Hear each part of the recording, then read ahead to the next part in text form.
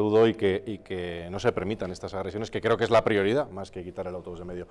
En el autobús pone, si no me equivoco, lo he visto muy rápidamente, las, leyes de género discriminan al hombre y están pidiendo que se discriminen esas leyes de género. Bueno, yo sí te puedo decir que yo estoy totalmente de acuerdo con eso, es que es, un hecho, es un dato evidente que las actuales leyes de género, con sus múltiples variantes autonómicas, etcétera, eh, discriminan al hombre de la mujer y la Constitución dice una cosa muy clara y muy sencilla, y es que los españoles somos iguales, independientemente de otras cuestiones. Y ahora mismo hay leyes que discriminan a un género frente a otro, igual que se busca discriminar de una manera u otra. Yo creo que la actitud de quienes les asaltaban es además, ya te digo, si te pones a analizar ya incluso con los símbolos, ¿no? alguien con una bandera LGTBI, con un símbolo antifascista, es decir, comunista, cuando en la Unión Soviética al propio ministro de Asuntos Exteriores, Chechenin, le mandaron a una clínica del año 25 porque tenía que curarse la homosexualidad. Bueno, hay gente que tiene un cacao mental tan importante que de verdad se les ha olvidado, probablemente se les ha programado de forma que se les olvida lo esencial, que es que hombres, mujeres, altos, bajos, peludos, calvos, listos, tontos, como pueda ser yo mismo, o mi ombligo o el tuyo,